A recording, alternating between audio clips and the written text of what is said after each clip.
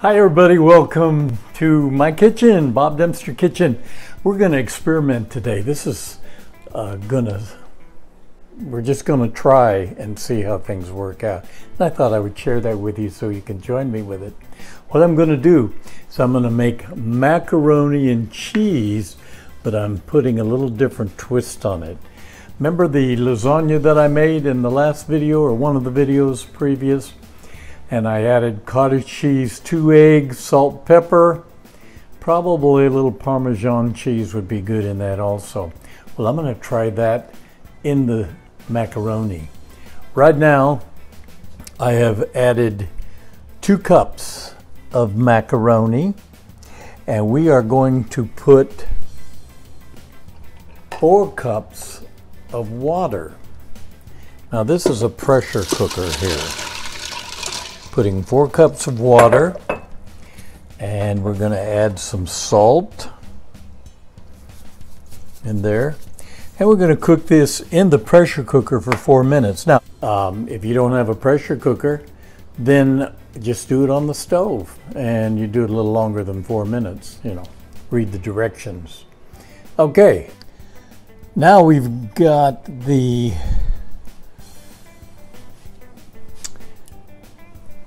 macaroni noodles all cooked al dente. And now what we're going to do is we're going to drain this water and then I'm going to come over here and I am going to do some cheese. See here?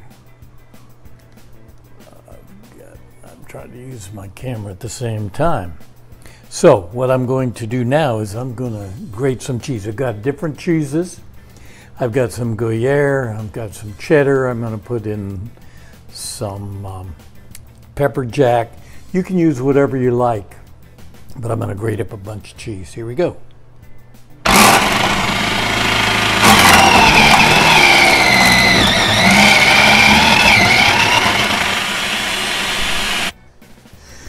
Here comes the cottage cheese. We'll probably put maybe about half of this in here like that because we're going to layer this in there. I love cottage cheese. we're going to add a couple of eggs. Put them right in there. I really like my little container here where I've got this. Can put my stuff, my throwaways, all in there and I can put my good veg vegetables or whatever I'm making on another one. I love it. And then at the top, it's got some else. We're going to put some salt in here and some pepper. Just like that. pepper. This is going to be what we're going to layer. Now we're going to mix this up real good here. I used to do a TV be on a TV show regularly all the time, and you can see those on my YouTube kitchen channel, Bob Dempster Kitchen. And I've made a lot of things on there that you might want to check out. All right, that's good. That's done like that. Now we're going to layer this, put it in the baking dish, and uh, we're going to layer the uh, noodles. We're going to get those all down there and we'll be good. Now in this experiment, I'm going to place my cooked noodles in this bowl. Get them all in here. And then I'm going to take this cottage cheese, about a half of a cup, not a cup, uh, anyway, about a cup of um, cottage cheese, two eggs, and some salt and pepper. I'm going to mix that in here.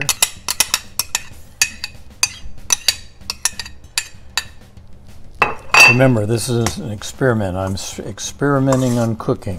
That's how you come up with new dishes. Now, to that, I've got some grated cheddar, cheese, sharp cheddar cheese. I have some Gruyere.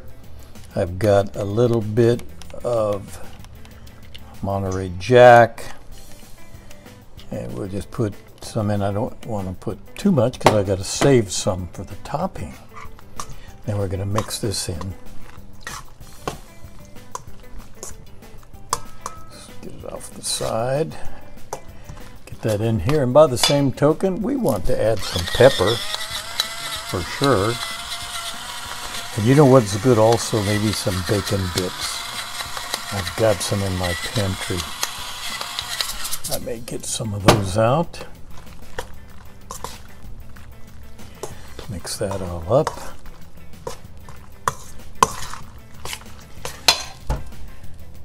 And another thing that I like to put in is oregano or marjoram. I've got some marjoram here. This is from my garden. I'm going to put some of this in. That's one of those herbs. Remember I told you that I like to add herbs and spices and different things, you know, to flavor up food. That's what's going on here. And you know, while I'm experimenting, I'm just going to put a little garlic powder and a little onion powder. I've got any onion powder. I think I'm out of onion powder, so forget the onion powder, but that would be good in here as well. Stir that up. Oh my, I think my experiment's going to be good. I hope. We'll check it out when it's all done, that's for sure. Taste it and go from there. Now from here, we're going to put it in the baking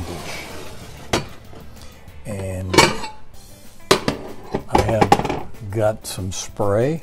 I'm to spray this dish. You know what? I might have a too small of a dish. I'm to get a different one. Bear with me for one second. I'm to get the same dish that I made the lasagna in. We're to spray that with cooking spray. Put that in there like that. And now we're going to add this macaroni into this dish. Spread it all out.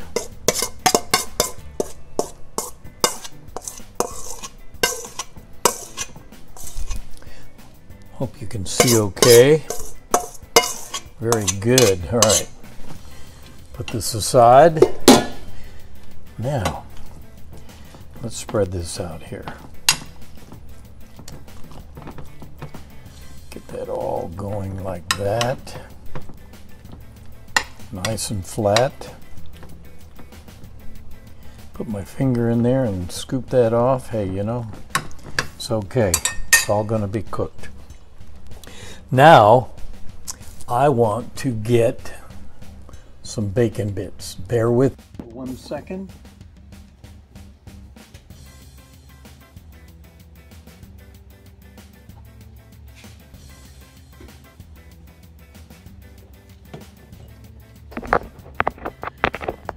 Remember, experiment. It's an experimental dish. Okay, and some bacon bits. These are not fresh. Fresh would be ideal. These are just bacon bits you can buy in the store. And then we're going to add some more cheese on top to layer this so that it bakes real well. Little mixture. Cheddar cheese, Monterey Jack. Can even add Parmesan. And you know what I like to do on all my stuff? Now some people may not like this but I love olives, black olives. So we're going to add some black olives on this. We're going to put our oven on and we're going to bake it. We'll be right back with you. We have this all ready now. We've got the cheese on it. I put black olives on it. You can leave those off if you're not into black olives. I also put a little oregano on there. And we're going to put it in the oven. The oven is ready now at 350 degrees. We're going to bake this for 25 to 30 minutes. And then after that, we're going to come back and we're going to put on the broil for just a few minutes to brown this top. And here we are. Look at that. bubbling away. Put it under the broiler for about five minutes just to brown the top a little bit. And it was baking for 25 30 minutes in the oven. Now we're going to taste it. But we're going to let it rest for 10 minutes, 15 minutes before we cut into it. All right, here we go. We're going to take take a little slice across this way, across this way, and then we're going to put some on a plate. I'm Gonna get the plate.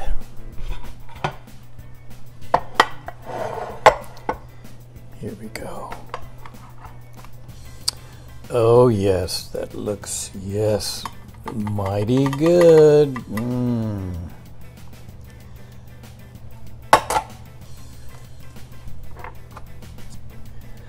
And now we're going to give it a try here. Oop. I'm caught. Going to take it over here. And you know what's what I like? Sorry, gonna come back here. That'll make us dizzy. I'm gonna take some of my cayenne saggy butts pepper sauce. That is tasty on this. Pull the chair out. And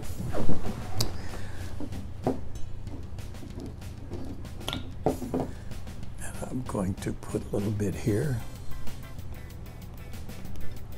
I like that. Of course, if you don't like that, you don't need to put that in there. All right, let's taste this. Let's get one of these.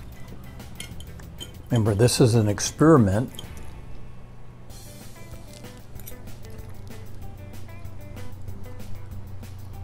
Mm-hmm. Delicious hot. Ooh. Delicious. Absolutely. I think that was a good idea. Little cottage cheese, two eggs, and salt and pepper. Put a little of that cayenne pepper sauce to dip that in. Oh, yeah.